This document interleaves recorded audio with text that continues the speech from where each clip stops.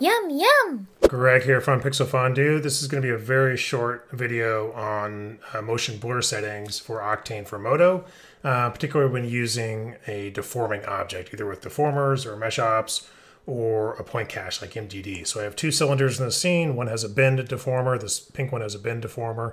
And the blue one is just that bend deformer saved out as an MDD point cache and loaded into this one um, as an MDD, MDD deformer, right? So it's just a point cache like Alembic or MDD. And yeah, so let's take a look at uh, motion blur and all the buttons we have to have pressed to make sure it works. So hit render, no motion blur. So let's start going through this. Camera, you need to go to camera effects and enable motion blur. Still no motion blur. So what else do we need to do? We need to make sure both of these guys, I'm to click on both at once, um, and the Octane tab have live geometry update um, clicked. And I'm just going to click that, make sure it's on. Okay, looks good. Let's refresh our Octane. Still no motion blur. So I'm going to pop open my um, Octane kernel here. And under the animation tab, I'm going to click camera motion blur. And I'm also going to click object motion blur. Now, with camera motion blur on, anytime the camera is moving, you'll get motion blur in the scene. Not from the moving objects, but just from the camera movement. And sometimes if that that's all you're doing is a fly through, like an architecture or something like that, that's all you need. Object motion blur is going to work with objects and transforms. So if you have a ball and you keyframe the scale or the rotation, um, with, with, the ball, the rotation is not going to show much. So say a cube, scale or rotation uh, or translation, right? Um, no deforming, just just transforms. Then object motion blur with that check work just fine. You'll get good motion blur.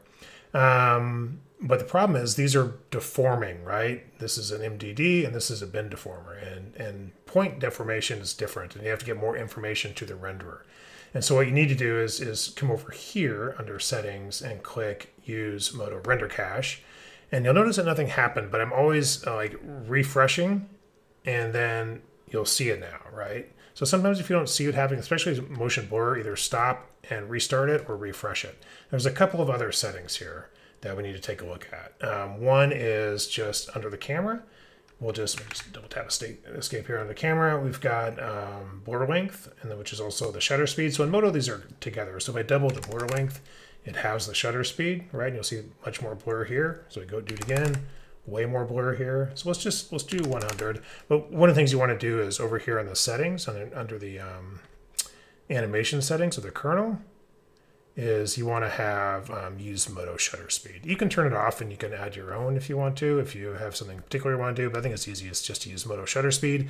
And honestly, for we're not using real cameras here, we're using animation. It's a lot easier to just use um, these settings here. 100% means you're going, the blur is going from the current frame 100% back to the frame prior to that. 200% is going to go, you know, back two frames, right? That's how that works. And it's much easier to conceive than like shutter speed. Trying to match real world footage, maybe you need to dial that in, but we're just going to do this.